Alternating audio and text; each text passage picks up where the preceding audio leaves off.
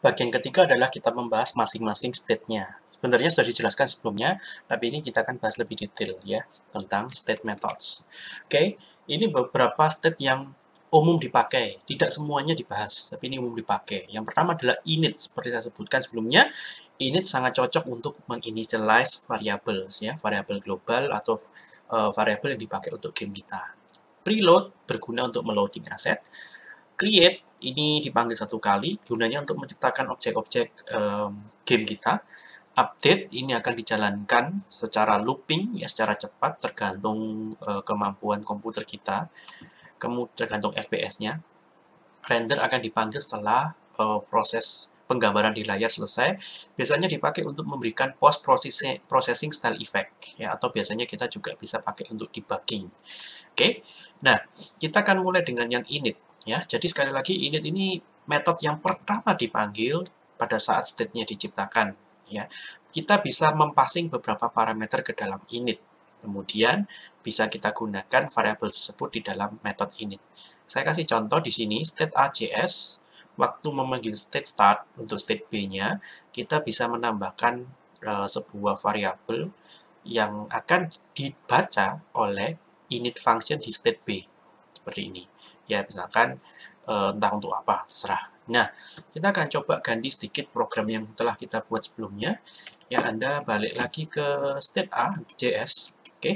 Di bagian state B ini kita mau e, mengclear dunianya kita mau mengclear cache-nya eh tidak mengclear cache-nya lalu kita kasih uh, random number antara satu atau dua. Jadi sebelumnya kita buat var picture sama dengan this.random between satu atau dua. Jadi either one or two. Lalu variabel random ini kita passing ke dalam pick ke dalam state B. Nah, di state B-nya kita akan buat init function. Oke. Okay. Di sini ya. Init function di mana parameternya sudah ada pick ya variabel pick yang dikirim lewat state A pick di sini. Nah di sini saya akan pindahkan ya yang pembuatan di background girl saya pindahkan ke sini.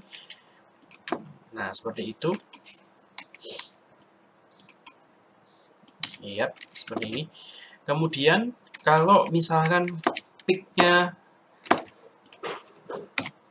if ya kita kalau kita kita lihat dulu jika picknya sama dengan sama dengan uh, maka kita akan uh, saya akan buat sebuah variabel lagi uh, gambar picture.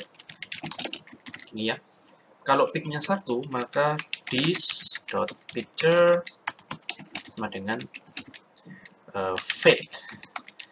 Tapi kalau picknya dua maka ini saya ganti phaser artinya apa teman-teman kalau randomannya satu, maka muncul gambar fit. Kalau randomannya dua, maka muncul gambar phaser.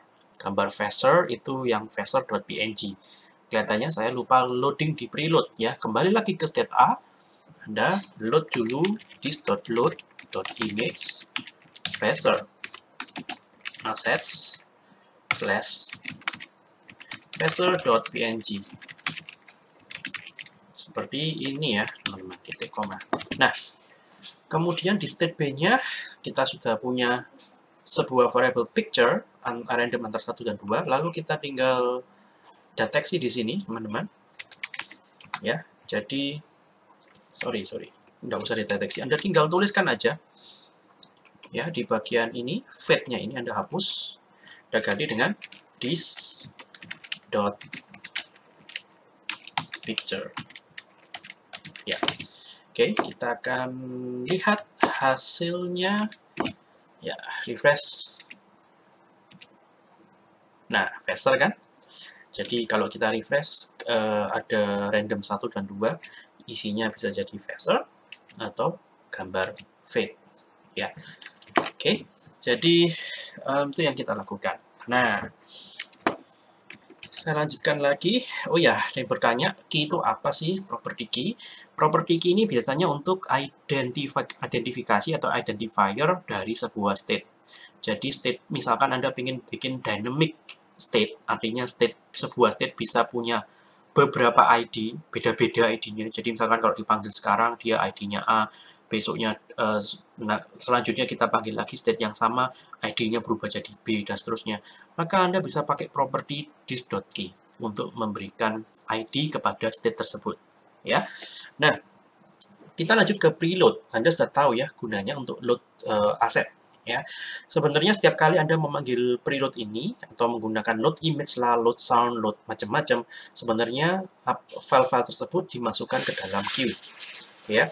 Kemudian it doesn't load the file immediately karena itu hanya sekedar dimasukkan ke dalam uh, waiting waiting list ya queue. Nah, selanjutnya loader queue akan menjalankan proses loading aset Anda seperti yang saya jelaskan di gambar sebelumnya, ada looping antara load update dan load render. Ini looping terus, terusan sampai asetnya berhasil terload semua. Oke, setelah selesai terload semua, maka uh, state akan mencari yang namanya create method. Kalau ada, kalau nggak ada ya sudah. Nah, create method ini dipanggil satu kali setelah preload selesai. Atau kalau memang tidak ada preload, maka create langsung dipanggil. Nah, biasanya dipakai untuk menciptakan game object seperti sprite, men-setting up animations, membuat uh, dunia Anda gitu ya, dan seterusnya. Setelah create selesai dipanggil, maka core gamenya dijalankan. Yaitu artinya dia memanggil update jika ada update-nya ya. Dan kalau memang Anda tidak punya update dan Anda ingin melempar ke state selanjutnya, maka di tempat create ini juga tempat yang tepat Anda memanggil state start menuju state yang lain. Nah, untuk update method, uh, uh, Fessor will only start calling update once the create method has been run if it exists. Ya, ini harap diperingat ya, harap diketahui. Dan update ini akan dijalankan sangat cepat sekali, ya, sangat cepat sekali. Anda bisa debug kalau ingin lihat FPS-nya berapa. Dan biasanya kita melakukan berbagai macam pengecekan, physics collision, menghandle uh, respon user, dan seterusnya. Oke, okay. render method ini akan kita Eh, terapkan ya, akan kita coba nanti habisnya ada tutorial 1 dan 2, kita akan menerapkan render method. Biasanya ini dipanggil setelah uh, setelah gambarnya muncul di layar, maka uh, fungsi render akan dipanggil. Gunanya adalah kita bisa membuat final post processing style effect ya. Jadi efek salju turun, kemudian black and white, gambarnya ngeblur, kita lakukan di fungsi render.